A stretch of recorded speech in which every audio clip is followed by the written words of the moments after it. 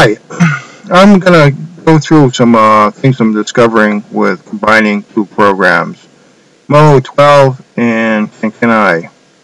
So let's go into here, okay? One thing I've learned so far is that uh, the drawing tool is out. Let's see if I'm, I'm here experimenting. Let me change this to this and let's make a shape here. I'm not going to make, you know, something fantastic. Bingo, I got a shape. Okay. And I'm to get the project settings on this. Okay. It's on the wrong setting. It should be high D, def. And I just want to say one frame. So now, I'm to render my animation. Okay, entire animation, everything looks good. Okay, um, and I'm going to delete this. And yeah, I'm going to replace it. Okay. So, now I'm going to go into this program. Let me, no, discard. And I'm going to open, import my image file. And of course I have to hunt for it.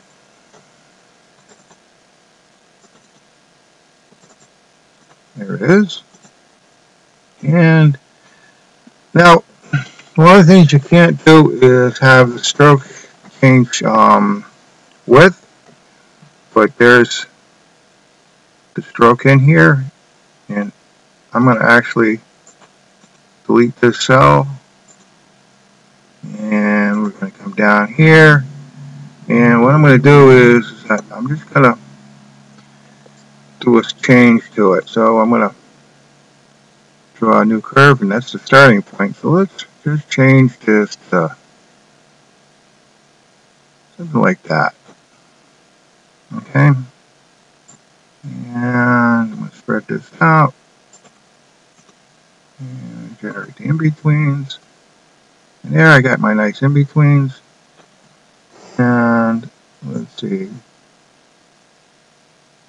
I forgot where the color picker is on this. But anyway, let's let's change this color to uh, let me see.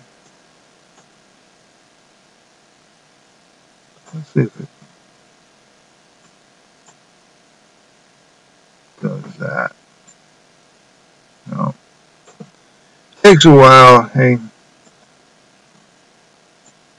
There we go. Now I lost my line lines, but let's see this exported. So we're gonna uh, export the image. Okay, I'm to leave B. That's what's good. Okay.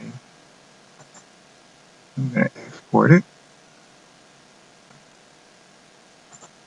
And I'm going to drop out of this, go back to Animation Studio. Hmm.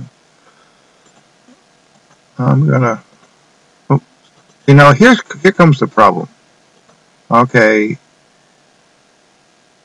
if I go image sequence, okay, there's no image files here because they're all SVG.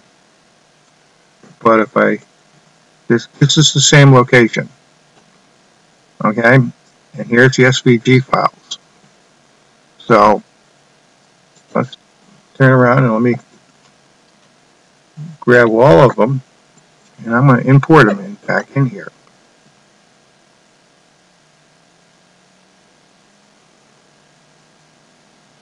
Alright, now the next thing I'm going to do is grab my imported and I'm going to group them and make them into a switch file. Put the switch. And of course, now, I can import them at the same size, but that's not really a big issue because I'm going to import it and I'm going to switch it around. I think it's just get this right over top of the other one. There we go. Now the problem is, this is the pain in the butt part. Okay? I'm going to go one frame forward. Come on. Oop. Go one frame forward. Come on. They let me go one frame forward. Come on. Okay, there we go. One frame forward. Switch. One frame forward. Switch. One frame forward. Switch. One frame forward. One frame forward. And on the keyboard. Another frame forward.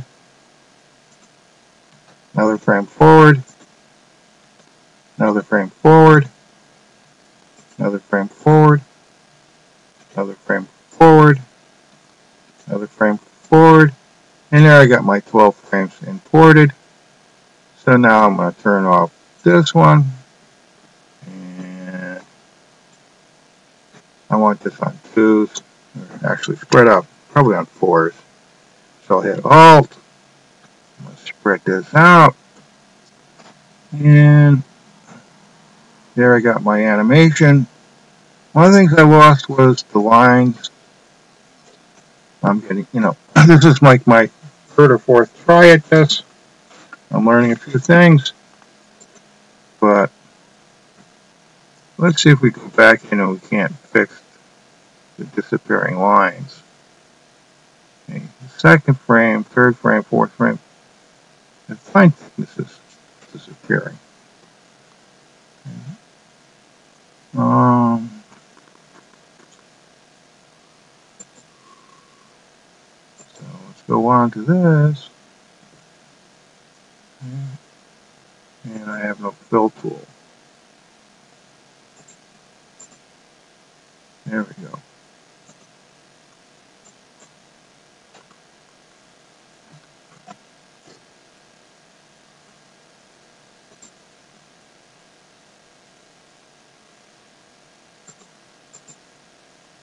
Hmm. Well, anyway,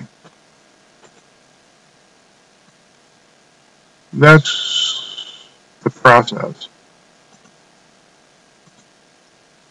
Let me somehow turn this recorder off. Thanks for watching. Bye.